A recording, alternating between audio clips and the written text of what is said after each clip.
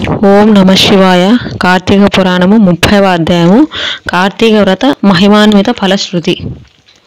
నైమిషారణ్య ఆశ్రమంలో శౌనకాది మహామునుల కందరకు సూత మహాముని తెలియజేసిన విష్ణు మహిమను విష్ణు భక్తులు చరిత్రలను విని ఆనందించి వెయ్యినోళ్ళ కొనియాడిరి. శౌనకాది మునులకు ఇంకనూ సంశయములు తీరనందున సూతిని గాంచి ఓ ముని తిలకమా! కలియుగమునందు ప్రజలు అరిషడ్ అరిషడ్వర్గాలు దా అరిషడ్ వర్గాలకు దాసులై అత్యాచారపరులై జీవించుచు సంసార సాగరంను తరింపలేక ఉన్నారు అటువంటి వారు సులభముగా ఆచరించు తరుణోపాయం ఏదైనా కలదా! ధర్మములన్నింటిలో మోక్ష సాధన ఉపకరించు ఉత్తమ ధర్మమేది దేవతలందరిలోనూ ముక్తి నొసంగు ఉత్తమమైన దేవ దైవమెవరు? మానవుని ఆవరించి ఉన్న అజ్ఞానమును రూపుమాపి పుణ్యఫలమిచ్చు కార్యమేది. ప్రతిక్షణము మృత్యువు వెంబడి ఉంచుచున్న మానవులకు సులభముగా మోక్షము పొందగల ఉపాయమేమి? హరినామస్మరణ సర్వదా చేయుచున్న మేము ఈ సంశయములతో ఉన్నాము. కాన దీనిని వివరించి తెలియజేయమని కోరిరి. అంతసూతుడా ప్రశ్న ఆలకించి ఓ మునులారా మీకు కలిగిన సంశయములు తెలియజేసుకున తెలుసుకునవలసినవి. కలియుగమందలి మానవులు మందబుద్ధులు క్షణిక సుఖములతో నిండిన సంసార సాగరమును దాటుటకు మీరడిగిన ప్రశ్నలు మోక్ష సాధనము కాగలవు. కార్తీక వ్రతము వలన యుగాది క్రతవు లనర్చిన పుణ్యము దాన ధర్మ ఫలము చేకూరును. కార్తీక వ్రతము శ్రీమన్నారాయణునకు ప్రీతికరమైన వ్రతము. ఇది అన్ని వ్రతముల కంటే ఘనమైనదని శ్రీహరి వర్ణించి ఉన్నాడు. ఆ వ్రత మహిమ వర్ణించుటకు నాకు శక్తి చాలదు. అంతే కాదు. సృష్టికర్తయకు ఆ బ్రహ్మదేవునికి కూడా సఖ్యము కాదు. ఆయనను సూక్ష్మముగా విరించేదెను. కార్తీక మాసమందు ఆచరించవలసిన పద్ధతులను చెప్పుచున్నాను శ్రద్ధగా ఆలకింపుడు. కార్తీక మాసమున సూర్య భగవానుడు తులారాశి ఇందున్నప్పుడు శ్రీహరి ప్రీతి కొరకు మనకు ముక్తి కలుగుటకై తప్పనిసరిగా నదీ స్నానము చేయవలెను. దేవాలయానికి వెళ్ళి హరిహరాదులను పూజింపవలెను. తనకున్న దానితో కొంచెమైనా దీపదానం చేయవలెను. ఈ నెల రోజులు విధవ వండిన పదార్థములు తినకూడదు. రాత్రులు విష్ణు ఆలయంలో గాని శివాలయంలో గాని ఆదునేతితో దీపారాధన చేయవలెను.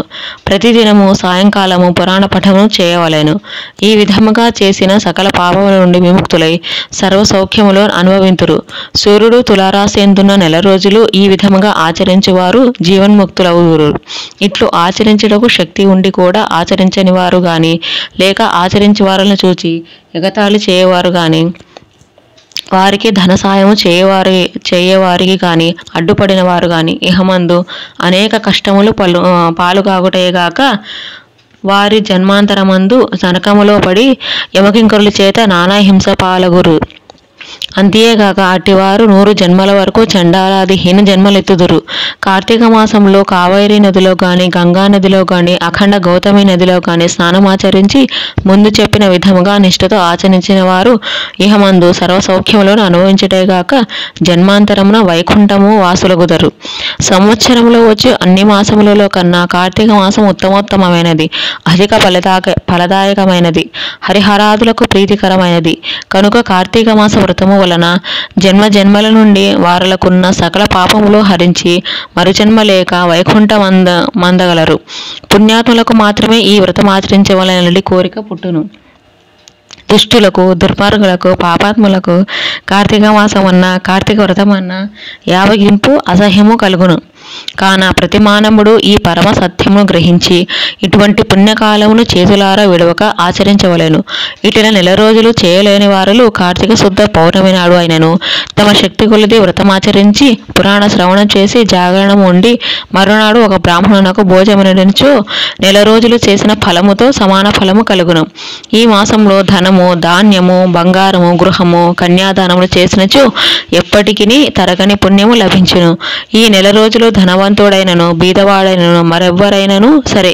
సదా హరినామ స్మరణ చేయుచు పురాణములను వింటూ పుణ్యతీర్థములను సేవిస్తూ దాన ధర్మములు చేర్చున్న ఎడల వారికి పుణ్యలోకమవ్వును. ఈ కథను చదివిన చదివిన వారికి వినిన వారికి శ్రీమన్నారాయణుడు సకలేశ్వరములు ఇచ్చి వైకుంఠ ప్రాప్తిని కలగజేయను.